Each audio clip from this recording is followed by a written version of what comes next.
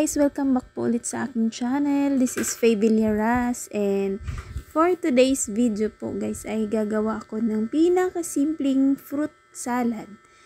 Pero lalagyan ko siya ng macaroni. So ito ay ginilaga ko na kanina. Ayan medyo mainit pa.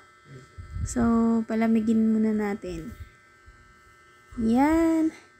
So, ang gagamitin ko ay ito condense merong Nestle cream, tapos itong um, del, ano, Fiesta fruit cocktail, at saka yung cheese.